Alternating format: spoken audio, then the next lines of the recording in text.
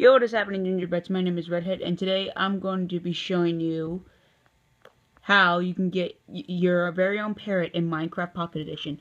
Now, this is 1.2. 1.2 came, the update for 1.2 came out yesterday, so, yeah.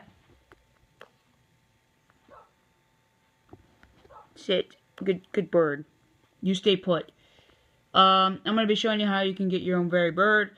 The only way you can find them is in the jungle biomes. So yeah.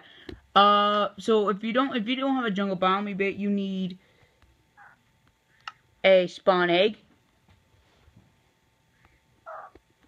And then you can tame them with any seeds. Get over here.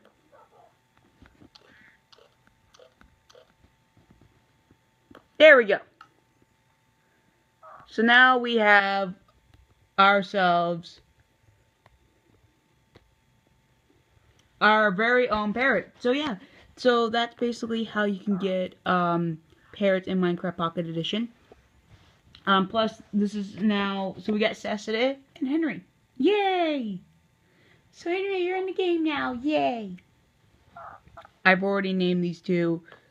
Um, now, this is actually, this is actually not my training area. This is actually my, this is actually an area where I can actually just chill and relax and yeah, that kind of stuff. So if you guys enjoyed the video, make sure you hit that like button down below. And also, if you're new to the channel, click on that subscribe button. really helps me out a ton.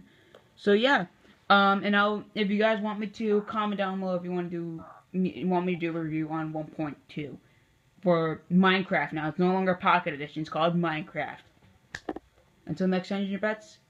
May the force be with you always.